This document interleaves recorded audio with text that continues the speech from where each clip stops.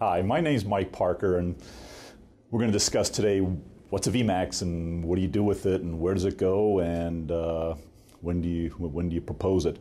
The VMAX is a classic high-end device, whatever that means, and, and a lot of people wonder. So, what's a high-end device versus everything else? And, and, and a high-end device is actually fairly easy to explain. Okay, so a high-end device uh, is, is going to be designed to operate regardless of the, of the environment that, that it's in. Now, essentially, the thing to remember about a high end device is that we use the same components, and these components are commodities. We use the same commodities that, that everybody else does. However, we do a lot more engineering to ensure that it works. Um, the other thing to remember about a high-end device is that in many cases, not only does the array itself have to work, but you have to start worrying about things like site resilience. So in other words, if your sprinkler system goes off or if your network lines get cut, you're probably going to need a secondary site. Um, and, and the VMAX is optimized to do this. Now the technology that we use, or the engineering point that we worry about in high end is something that we call low probability, high impact events. And these are things that probably shouldn't happen, and statistically they won't, but if they do, they're going to have some considerable uh, impact. Now, the way we get around that, we use a fairly, we, we use a large compute engine, and we actually use a rather sophisticated operating system to get around these things that can fail because what happens in a large array, a large array is what we call event intensive, which means there's a lot of drives, there's a lot of software running, and a failure can set off a chain reaction and, and, and, cause these things to fail. That's pretty much the design point. So the first thing you'll notice about a VMAX is that it's got a very large compute engine in front of the storage. That's the basic difference. We use the same components as our VNX product. Um, many of the competitors have a smaller compute engine in front of the in, in front of the storage. That's the first difference. The second difference is how you organize your operating system. And our operating system is designed.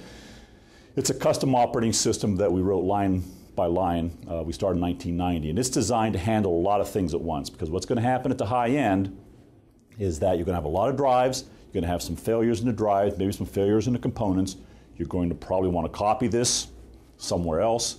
Um, and you're going to want to run some applications. Now, what really shifted in the VMAX world and what shifted in the high end market is that we took this technology and we actually focused on solving the primary problem of 2011, or the current uh, problem, which is capex, capital expense, and operational expense. In other words, we're going to start saving people operational money, both capex and opex. So, unlike um, prior generations in which the, the, the, the Symmetrix was just a higher priced solution. Now it's actually higher availability, but it can also be fairly cost effective to run. We're going to do that two ways, and, and in order to do that, we're going to have to save the customer clicks and we're going to have to save the customer cost. The fundamental problem is that depending on whose numbers you use, for example, IDC thinks that in five years you're going to have 10 times the amount of data that you do now. I've seen numbers where by 2020 you'll have 40 times the data that you have now. The problem is very simple. You're not going to get 40 times the people, and you're not going to get 40 times the budget. Actually, despite your data growth, they're probably going to cut your budget, and then they're probably going to cut the people. So we have to design around that. So that, that that's what we're going to do. Now, let's discuss just a little bit of, of the, just a few of the things that we do uh, to make this available. A storage device is made out of a couple of commodities. For example, obviously the disks. Now the disks, we have a couple of different flavor, flavors. For example, we have fiber drives and we have SATA drives. And we'll, we'll, we'll ship SAS drives later when that, when that cost becomes um, uh, more cost effective for us and, and, and for you. Fiber drives, for example, requires some correction logic. Um, there, there's a tendency to, to, to uh, miss the, data that you fly over a segment, and we, we use a correction mechanism to fix that. SATA drives, you worry about something called torn sectors.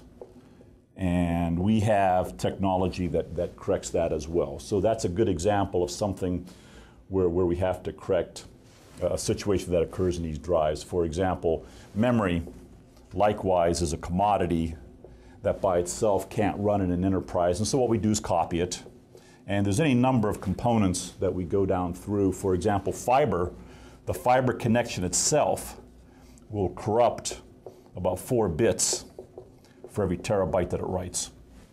And of course, that's not going to work in a critical environment. So, of course, EMC has technology to fix that particular problem. So, that's what we do from a raw engineering point of view. Now, the two other main uh, piece of technology that we introduced here was, like I said, we have to save you clicks and we have to save you cost. Now, under saving clicks, we invented something called uh, virtual provisioning, or we call it VP. And what VP does is that instead of using drives, MetaLUNs, stripes, all these things that we've been doing for years to get, around, to get around the spindle problems, we now use pool of drives. So best practices is 32 drives in that pool. And what you do is that when you write the data, you stripe across all these 32 drives. Okay, and what that saves the, the user from is stripes, MetaLUNs, RAID, trying to figure out how to get these spindles to run. If you expand that group, say to 64 drives, we rebalance that pool in the background. Okay, that saves clicks, which is key to saving costs. Now, when, when you look at the overall device, what we do is we get several kinds of pools.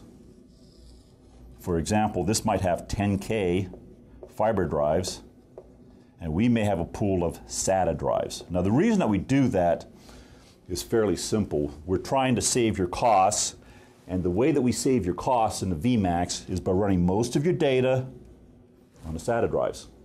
Notice I said most. SATA drives are very inexpensive. This is how we save your money. We have a one terabyte drive and we have a two terabyte drive. And if you ask me how fast they are, I'll tell you that they're not. But they're cost effective in the extreme. To offset that, we use a flash media. The flash media is fast in the extreme, but it's a little pricey.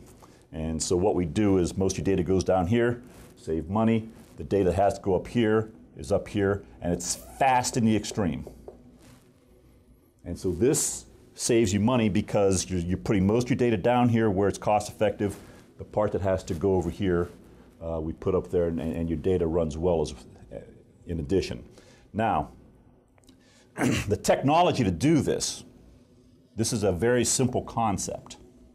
And everybody's been trying to do this for years. Humans cannot keep up with this kind of a design. There's no way that you can hire enough technicians to do this manually. So we have to automate it. The way that we automated was something called FAST. It stands for Fully Automated Storage Tiering Virtual Provisioning. So in other words, you take this virtual provisioning, you add the FAST to it, and now all of a sudden all of this is automated. Now we're not going to get into all the details of how this works right now, but essentially um, on a chunk basis, which is 12 tracks, we put every 12 track chunk in the appropriate media. And then that way, most of your data is down here saving you money. The data has to run fast is up here. We have a piece of fiber in the middle um, for the things that are, that are sort of in transition. This fast adjusts the workload fairly quickly. It can adjust every, up to every 30 minutes, and it continuously tunes this in the background. You don't have to do it. Um, and by that, and that way, we make this the most cost effective, one of the more cost effective ways to uh, run storage. This is a hot technology. We are using this.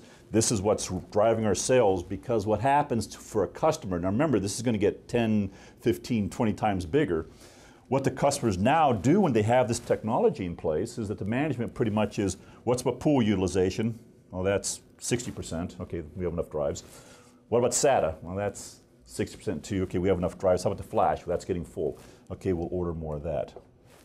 We can order that, we can put it in, it'll restripe, um, and, and it just doesn't require a lot of, a lot of effort. We also have in, in, in the VMAX, the, the, other the, the other trait to the VMAX is it has cutting edge, leading edge replication across sites. Now, for example, we have big uh, financial customers who literally replicate across continents. They, they replicate US, one customer replicates New York, Singapore, London. And, and, they do that for you know, extreme availability. So if they have a power grid problem or something major that, that expands a big area, they've still got two more sites. That's the other part that happens in a, in, in a VMAX design. So we have to replicate that. That's been available since 1996, actually. And that's very common technology.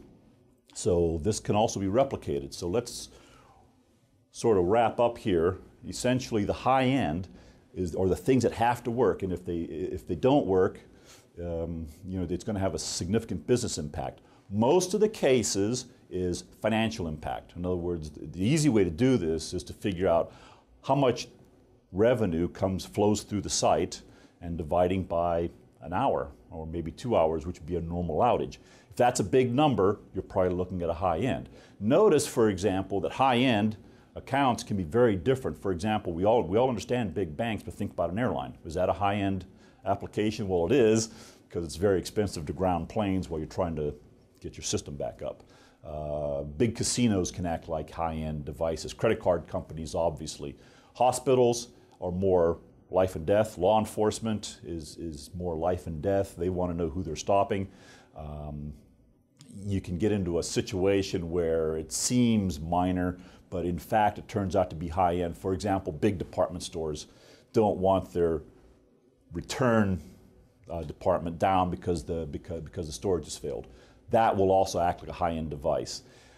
For everything else, where I mean, no one wants anything to fail, but for everything else, it may be a, it may well be a mid-range solution. So again, look for what it costs if it fails in, in financial terms, human terms. If you have a high-end device, then you're worried about the technology, and we're going to engineer for these low impact, I mean, I'm sorry, low probability, high impact events. We're going to engineer for that. At the same time, we're going to save you cost, we're going to save you clicks, we're going to make it easier to use, we're going to reduce the number of people that you need to run it, at the same time providing the very high end of, uh, of availability.